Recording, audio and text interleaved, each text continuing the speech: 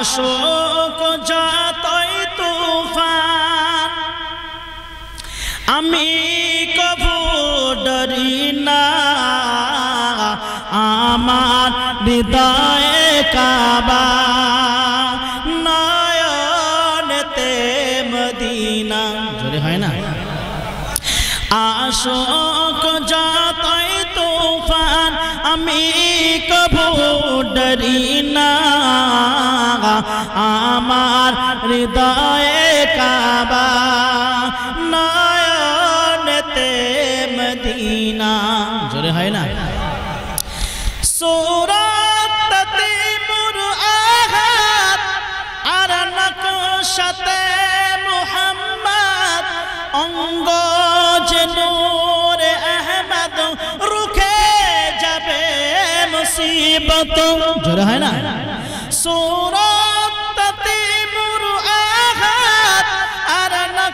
নকশাতে মুহাম্মদ অঙ্গ যে নূরে আহমদ, রুখে যাবে মুসিবত।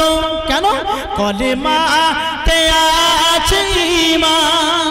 জোরে হয় না? কলিমা তে আছে ঈমান। মোর সাথে আছে রব্বানা।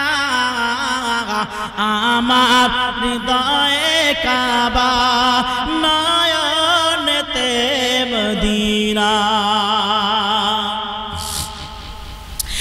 পঞ্জাতনের পাঁচ পাতা হবে গোয়াবার সাতা জোরে হয় না সুবহানাল্লাহ পঞ্জাতনের পাঁচ পাতা হবে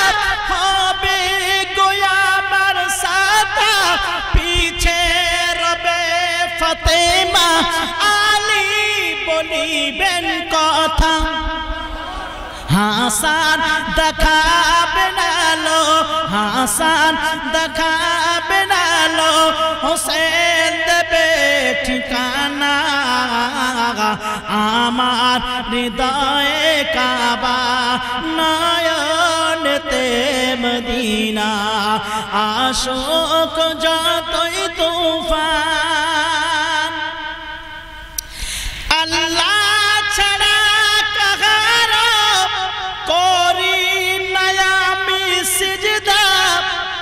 আল্লাহ ছাড়া কাউকে সিজদা করা যাবে? হ্যাঁ? জোরে বলেন। আল্লাহ ছাড়া কাউকে সিজদা করা যাবে না। যারা আল্লাহকে সিজদা করে, তারা আল্লাহকেই ভয় পায়। আল্লাহর উপরে ভরসা রাখে পৃথিবীর। কারোর উপরে তারা ভরসা রাখে না। তাই কবি কি বলছেন? আল্লাহ ছাড়া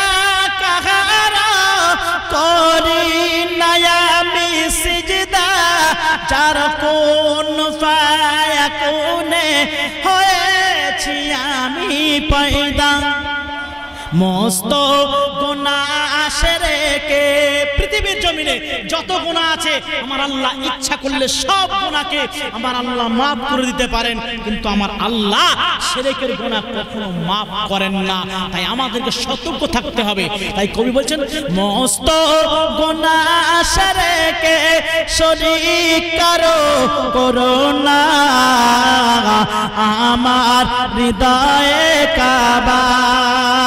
নয়নতে মদিনা আশোক যতই তুফান আশোক যতই তুফান আমি কব ডরি না আমার হৃদয়ে কাবা নয়নতে মদিনা আল্লাহ আমার বাবা জিরা ভাই জানেরা মায়েরা, বোনেরা, খুব খেয়াল করে শুনবেন ওই খ্রিস্টান পাদরি মেহমানদেরকে মেহমানদারি করার জন্যে তিনি সকলকে ডাক দিলেন, এ মক্কার কাফেররা মক্কার কাফেররা তোমরা চলে এসো, আমি তোমাদেরকে এবার নিজে হাতে মেহমানদারি করব। ওই বুহায়রা সকলের কাছে খাবার নিয়ে পৌঁছে যায়, কিন্তু না না না, ওই বুহায়রার নজর অন্যদিকে রয়েছে। সবাই জিজ্ঞাসা করে, এ খ্রিস্টান আপনি আমাদেরকে খানা দিচ্ছেন, মেহমানদারি করছেন কিন্তু আপনার মনের ভিতরে একটা দুশ্চিন্তা যেন আপনি বারবার বারবার এদিকে, ওদিকে কেন তাকান? ভাবছেন, এবং তিনি বলছেন যে আমি একটা জিনিস দেখছি, এই কাফেলা যারা এসেছিল সবাই কি খেতে বসেছে? ওই সমস্ত কাফেলারা বলেছিল, এ বুহাইরা, সবাই খেতে বসেছে। বুহাইরা বলে, না না, আমার মন বলে, কেউ একজন আগা পাপ পড়ে আছে। তোমরা ভালো করে কাফেলাটা আগা একবার তল্লাশি করো। ওই কাফেলার ভিতর থেকে একজন ব্যক্তি দাঁড়িয়ে বলল, হুজুর, আমাদের কাফেলা আগায় একটা মাত্র বাচ্চা রয়েছে। যে বাচ্চাটাকে আমরা কাফেলার সামান পাহারা দেওয়ার জন্য রেখে এসেছি। এই ব্যাগপত্রগুলো আছে তুমি দেখো। হুজুর সে বাচ্চা এসে কি করবে? খেতেও পারবে না। তখন বলছে খেতে পারুক চাই নাই নাই পারুক। ওই বাচ্চাটাকে এই আমার এই মেহমানদারি মেহমান খানায় তোমরা নিয়ে এসো। আমি এই বাচ্চাটাকেও মেহমানদারি করব। জোরে বলা যায় না সুবাহান আল্লাহ ও আমার মায়েরা, বোনেরা, বাবাজিরা, ভাইজানেরা, আল্লাহ পাক আল্লাহ তাআলা আমার নবীকে কেমন নবী বানিয়েছিলেন দেখুন। ওই বুহাইরার কাছে যখন আমার নবীকে নিয়ে আসা হলো। আমার নবী সকলের, আমার ওই বুহাইরা সকলকে মেহমানদারি করলেন এক পর্যায়ে বুহাইরা আমার নবীকে বললেন, আমার নবীকে অনেক কথা জিজ্ঞাসাবাদ করলেন। আমার নবীর বয়স তখন বারো বছর। আমার নবী সব কিছুই বুহাইরাকে খুলে বলে দিলেন, ওই সময় ওই বুহাইরা, আমার নবীর হাতটাকে ধরে আবু তালেবের কাছে নিয়ে চলে গেল। আবু তালেবের কাছে নিয়ে যখন চলে গিয়েছে, আবু তালেবকে জিজ্ঞাসা করে বাচ্চাটা কে? আবু তালেব বলছে, এটা আমার পুত্র, আমার ছেলে। ও আমার বাবাজিরা, ভাইজানেরা, মায়েরা, বোনেরা আবু তালেব যখন বলেন, বলেছিল, এটা আমার পুত্র, এটা আমার ছেলে। বুহায়রা বলে, না না, এ কথা আমি বিশ্বাস করি না। এই বাচ্চাটা আব্বা দুনিয়ার জমিনে বেঁচে থাকতে পারে না জুড়ে বলা যায় না।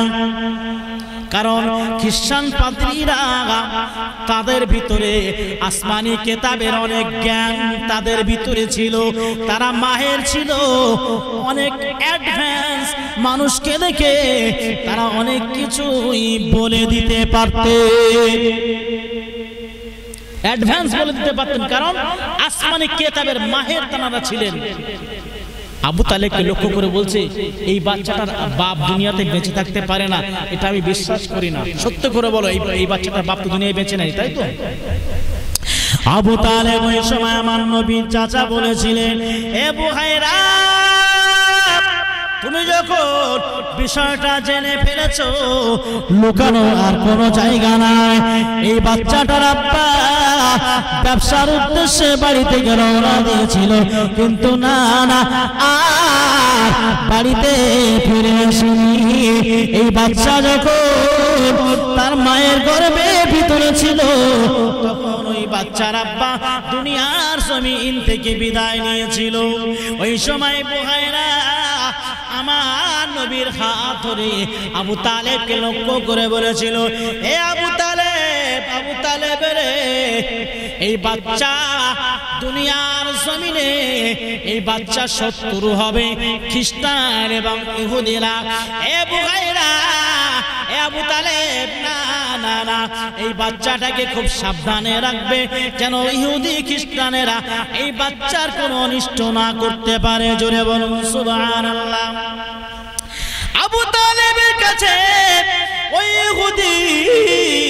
ওই খ্রিস্টান পাদিনী আবু তালেবের কাছে আমার নবীকে নিয়ে, আমার নবীর হাতটাকে ধরে বলেছিলেন হাজা ইয়াবাসুল্লাহ রহমাতাল আলামিন জোরে বলুন, সুবহানাল্লাহ।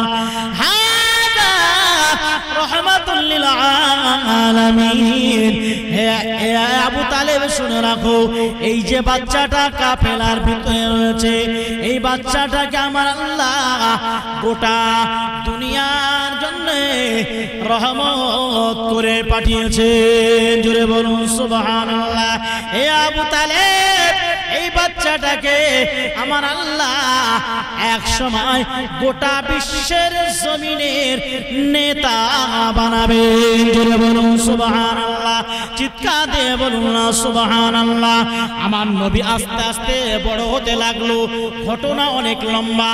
আমার নবী যখন বয়স চল্লিশ বছর হয়ে গেল, আল্লাহ পাক, আল্লাহ তালা আমার নবীকে প্রকাশ্য নবুয়তের সার্টিফিকেট দিয়েছেন। জোরে বলুন, সুবহানাল্লাহ। তখন সার্টিফিকেট প্রকাশ হয়েছে, কিন্তু আমার নবী, তখন থেকে এই নবী আমার নবী নিজে বলেছেন, যখন নবী আদম সালামের জিসম মোবারক দেহ তৈরি করার জন্য ফারিস্তারা তানাকে খামির এবং কাদা এবং মাটির ভিতরে যখন তানাকে মিক্সার করছিলেন তার পূর্বে থেকে আমি আল্লাহ পাকের দরবারে নবী জোরে বলুন সুবহান আল্লাহ আমার আল্লাহ পাক, আল্লাহ তাআলা আমার নবীকে বললেন, হে রাসূল, তোমার উপরে আমি কিছু দায়িত্ব দিয়েছি। ইয়া আইয়ুহার রাসূল, বাল্লিগ মা উনজিলা ইলাইকা মির রাব্বিক, ওয়া ইল্লাম তাফআল ফামা বাল্লাগতা রিসালাতা। আল্লাহু ইয়াসিমুকা মিনান নাস। আমি আল্লাহ, আমার তরফ থেকে তুমি যা কিছু তোমার কাছে অর্পণ করা হয়েছে, আমি আল্লাহ যা কিছু তোমার উপরে দায়িত্ব দিয়েছি, এগুলো তুমি নির্দ্বিধায়, নির্ভয়ে তুমি পৌঁছে দাও। এবং আমি আল্লাহ পাক তোমাকে জানিয়ে দিলাম, পৌঁছে দেওয়ার দায়িত্ব তোমার। হেদায়েতের দায়িত্ব আমি আল্লাহ আমার কাছে। জোরে বলুন সুবাহান আল্লাহ হেদায়েতের চাবি আমার আল্লাহর কাছে। আমার নবীকে আল্লাহ হেদায়েতের দায়িত্ব দেননি।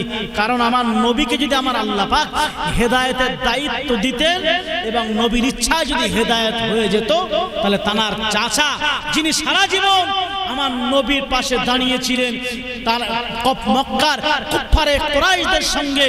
তিনি কুরাইশদের থেকে আমার নবীকে ছায়া করে রেখেছিলেন, ডানার তলায় রেখেছিলেন। আবু তালেব আমার নবীকে এত ভালোবেসেছিলেন এত মহাব্বত করেছিলেন এবং আমার নবী আবু তালেবকে এত মহাব্বত করতেন, এত ভালোবাসতেন।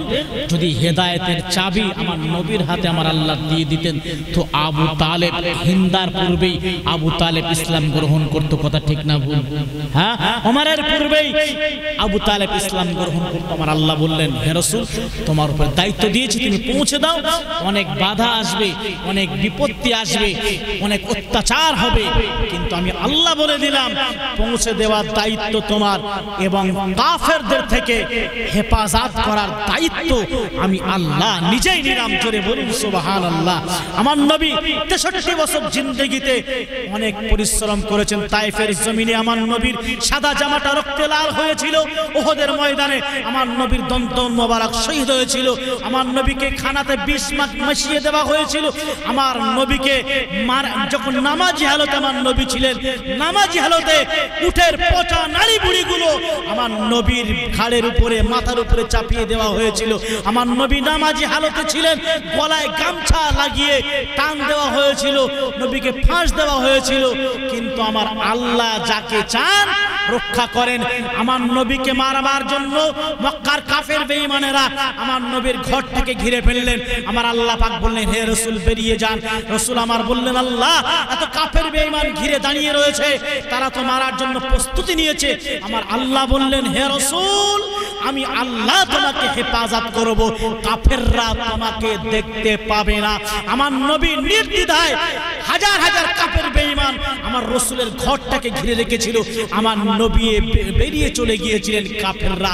আমার নবীকে একটি পশমেরও কোনো ক্ষতি করতে পারেনি, জোরে বলুন সুবাহান আল্লাহ আমার আল্লাহ পাক আমার নবীকে এইভাবে হেফাজত করেছিলেন। আমার নবীকে আল্লাহ বললেন, তুমি প্রথমে গোপনে একটু দিনের দাওয়াত দাও। কি বললেন? গোপনে। আমার নবী গোপনে গোপনে দিনের দাওয়াত দিলেন। তিন বছর। আমার আল্লাহ পাক প্রিয় নবীকে লক্ষ্য করে বললেন, হে আমার রসুল এবার আমি আল্লাহ চাচ্ছি যেটা, সেটাই করো। কি করো? তুমি প্রকাশ্য দিনের দাওয়াত দাও। আমার নবী নবুয়ত পাওয়ার পূর্বে যুবক বয়সে একটি সংগঠন তৈরি করেছিলেন। এই সংগঠনের নাম কি বলতে পারবেন? হ্যাঁ? আমার নবী যে সংগঠন তৈরি করেছিলেন, ওই সংগঠনটির নাম হলো হিলফুল ফুজুল। জোরে বলুন সুবাহান আল্লাহ মহাব্বতে দরুদ।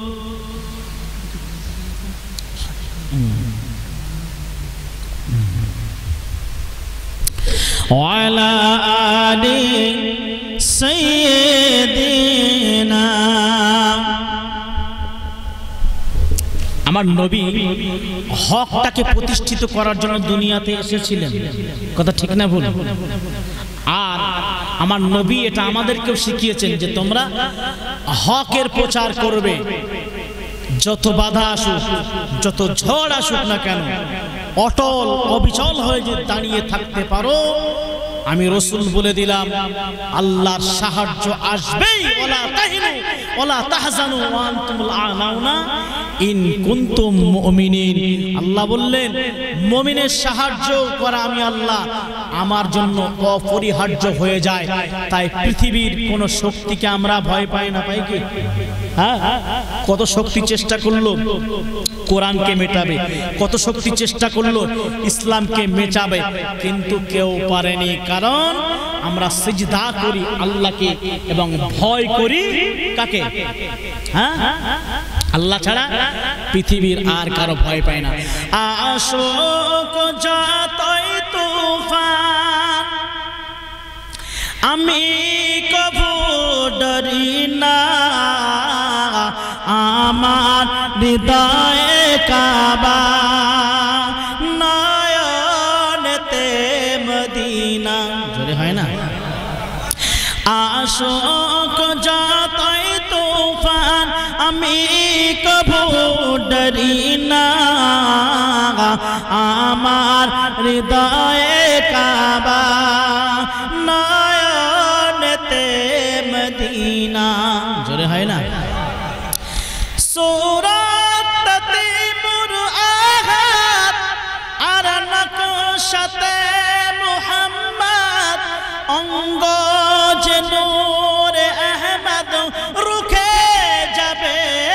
মুসিবত। জোরে হয় না?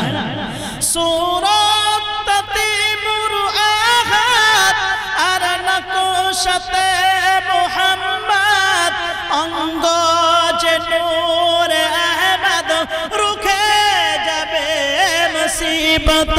কেন? কলেমা তে আছে হয় কলেমা তে আছে ঈমান মোর সাথে আছে। রব্বানা আমার হৃদয়ে কাবা নয়নেতে মদিনা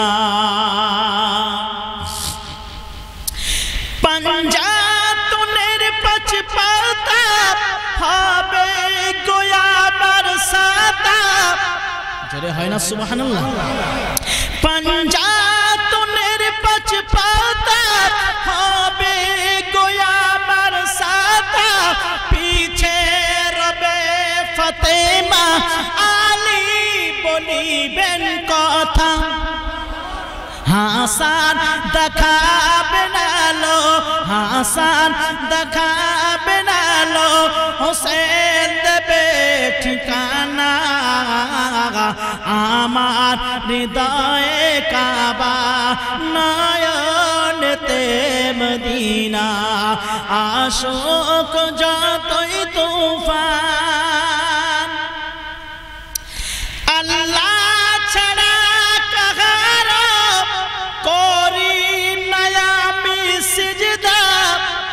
আল্লাহ ছাড়া কাউকে সিজদা করা যাবে?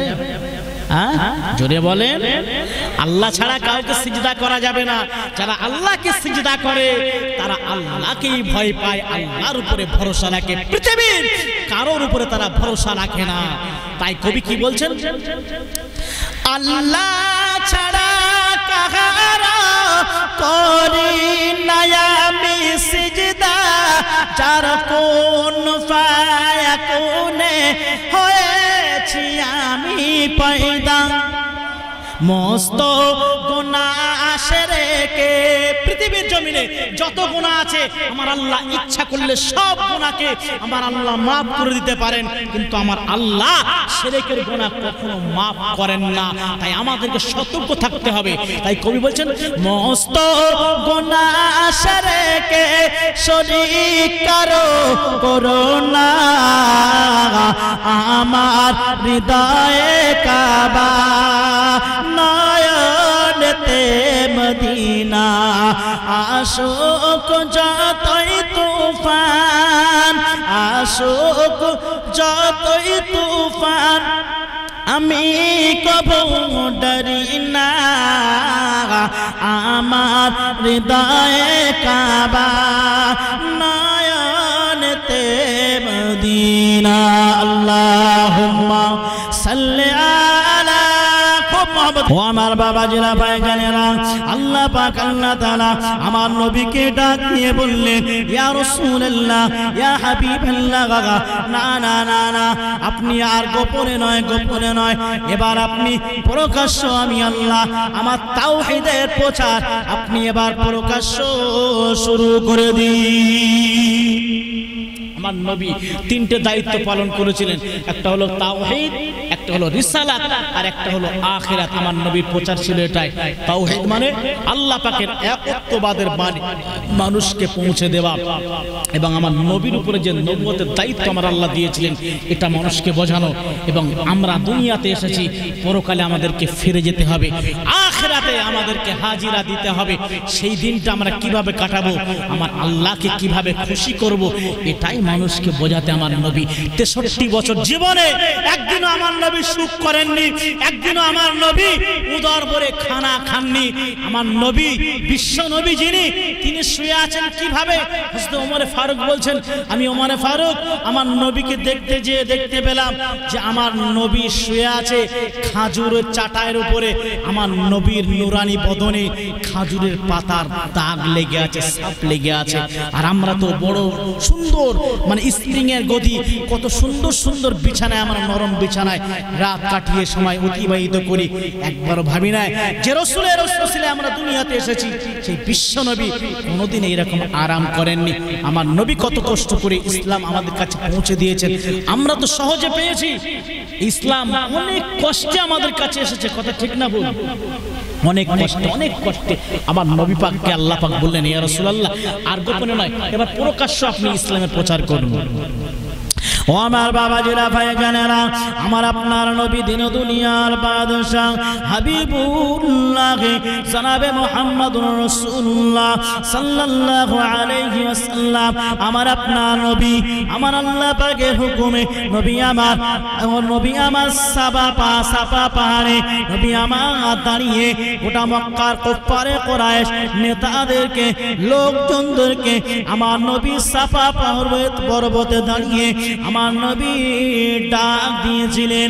আমার নবী গোটা মক্কার নেতাদেরকে লক্ষ্য করে আমার নবী সেদিন বলেছিলেন, ইয়া সাবাহা ইয়া সাবাহা হে মক্কা লোকেরা হে মক্কা লোকেরা, আমি গুরুত্বপূর্ণ বিষয় নিয়ে তোমাদেরকে ডেকেছি। গোটা মক্কার জমিনে কোপারে কোরাইশ নেতারা আমার নবীর ডাক শুনে সকলেই সমবেত হয়ে সাফা পর্বতের কাছে আমার নবীর ডাকে সাড়া দিয়ে হাসির হয়েছিলেন, জোরে বলুন, সুবহানাল্লাহ। আমার নবী তাদেরকে লক্ষ্য করে বলেছিলেন, আমি তোমাদেরকে কিছু কথা বলতে চাই। কারণ আমার নবী হিলফুল ফুজুল গঠন করে সবার কাছে সম্মান লাভ করেছিলেন। অত্যাচারীদের এবং জুলুম, যারা জুলুমের শিকার হয়েছিল, তারা হাসি পেয়েছিল এবং আমার নবীর এই সংগঠন দেখে সবাই খুশি। খুশি হয়ে আমার নবীকে একটা উপাধি দিয়েছিলেন আল্লাহ আমিন। সত্যবাদী, জোরে বলুন সুবহান আল্লাহ আমার নবী যখন তাদেরকে ডাক দিলেন, ডাকার পরে আমার নবী বলছে যে তোমাদেরকে আমি যদি বলি, সকালে অথবা সন্ধ্যাবেলা একদল শত্রু তোমাদের উপরে আক্রমণ করবে। তোমরা কি আমার কথাটাকে বিশ্বাস করবে? গোটা মক্কা নেতারা কুফারে কুরাইশেরা আমার নবীর কথা শুনে সবাই বলেছিলেন, এ মুহাম্মদ, আমরা জানি গোটা জীবনে আপনি এই চল্লিশ বছর বয়স পর্যন্ত গোটা জিন্দেগিতে আপনি জীবনে কোনোদিন একটি মিথ্যা কথা, একটি বাজে কথা, কোনো প্রতারণামূলক কোনো কথা আমরা জীবনে কোনোদিন তোমার মুখে শুনিনি। জোরে বলুন। ও আমার বাবা জিরা ভাই জানেরা, মক্কার কুফারে কোরআশ নেতারা বললেন ইয়া আমরা বিশ্বাস করি না যে আপনার জীবনে আপনি মিথ্যা বলতে পারেন। আমরা এটা জানি। আপনি জীবনে কোনোদিন মিথ্যা বলতে পারেন না। আমরা অবশ্যই অবশ্যই আপনার এই কথাটাকে বিশ্বাস করে। জোরে বলুন, সুবহানাল্লাহ। ও আমার বাবা জিরা ভাই জানেরা গোটা আমার নবী, আপনার নবী দিন দুনিয়ার বাদশাহ হাবিবুল্লাহ, জানাবে মুহাম্মদুর রাসূলুল্লাহ সাল্লাল্লাহু আলাইহি ওয়াসাল্লাম।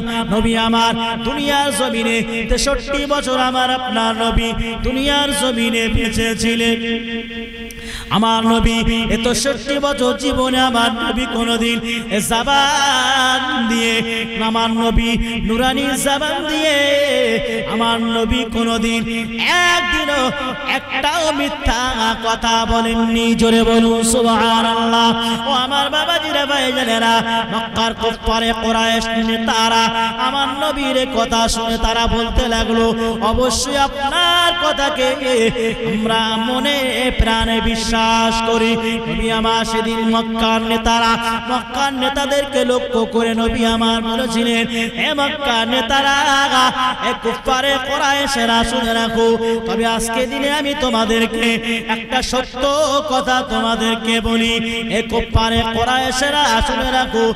রব বলে একজন রয়েছে, আল্লাহ বলে একজন রয়েছে, যে আল্লাহ আমাদেরকে সৃষ্টি করে দুনিয়ার জমিনে পাঠিয়েছে। তোমরা মক্কার মূর্তি- মূর্তির পাশে বসে বসে তাদের নাম ধরে ধরে ডাকো, তাদের নাম ধরে ধরে জপ করো, তাদের নামে মান্যত করো, তাদের নামে নজর নেওয়াজ তোমরা পেশ করো। না না আমার আল্লাহ কোরআন শরীফে বলেছে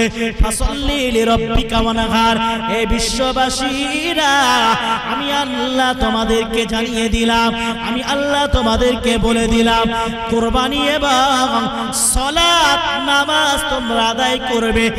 একমাত্র আমি আল্লাহ আমার জন্য। তোমরা একমাত্র আমি আল্লাহ।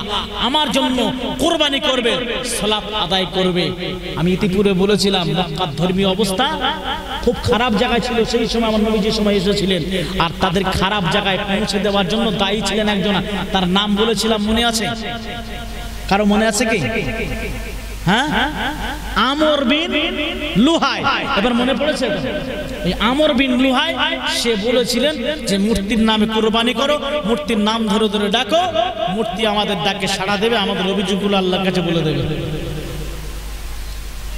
মূর্তি আমাদের অভিযোগগুলো আল্লাহর কাছে পেশ করবে। কিন্তু না, আমার নবী, আমার নবীকে আল্লাহ বললেন যে, হে রসুল, আপনি ওদেরকে বলে দিন, তারা যেন শিরিক, কুফরে লিপ্ত না হয়ে, শিরিক বিদা থেকে তারা যেন দূরে সরিয়ে দিয়ে, আমি আল্লাহ আমাকে সিজদা করে, আমার নামে কুরবানি করে, আমাকে রব বলে যেন মেনে নেয়।